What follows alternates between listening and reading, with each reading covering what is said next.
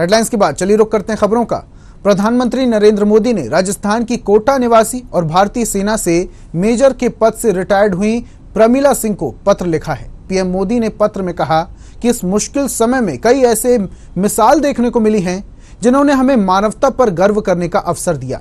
मुझे उम्मीद है कि मेजर और उनके पिताजी इसी प्रकार अपनी पहल से समाज में जागरूकता फैलाते हुए अपने कार्यों से लोगों को जागरूक करेंगे। बता दें कि कोरोना काल में लॉकडाउन के समय जब लोग अपने अपने घरों में राशन पानी की व्यवस्था में जुटे थे, उस समय मेजर प्रमिला सिंह, अपने पिता श्यामवीर सिंह राठौर के साथ मिलकर बेजुबान और बेसहारा जानवरों की सेवा कर रही थी।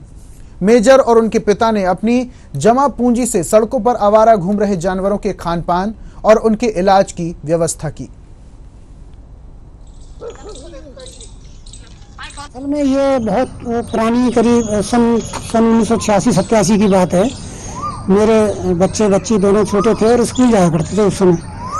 उस समय वो शायद कोई एक स्टे पप्पी या तो किसी का पालतू था, किसी ने घर से निकाल दिया होगा। तो वो उठा करके घर पे लाए थे। तो थोड़ा उसकी तबीयत भी ठीक नहीं थी। फिर मैंने उनको कहा भी मिलकर भाई, किसी का है, ये पालतू हो सकता है। लेकिन वो उन्होंने फिर घर पर रख लिया।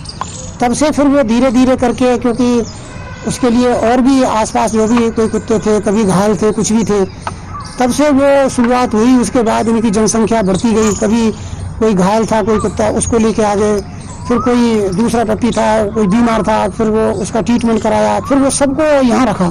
धीरे धीरे करके उसमें कुछ फीमेल थी।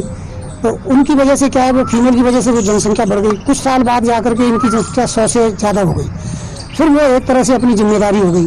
कि भाई इन सभी का जो है ध्यान रखना है, ये करना है। फिर बात ये थी कि भाई इतनी जनसंख्या को कंट्रोल कैसे करें? फिर इसका ख्याल ये आया कि भाई इनको एक्चुअल में इनकी जो है ऑपरेशन नशबंदी की जाए और जिससे जनसंख्या नहीं बढ़े। फिर ये ज़्यादा सड़क पर जैसे कई बार वाहनों से कुचल जाते हैं, कई बार इनके कीड़े पड़ जाते हैं तो बड़ा ऑक्सीजन क्रिएट होता है, बड़ा बुरा लगता था। तो उस हिसाब से हमारे दिमाग में ये ख्याल आया कि भाई ठीक है, इनकी सेवा करें, दुखी हैं, उनको खाना दें उनके लिए शेल्टर दें।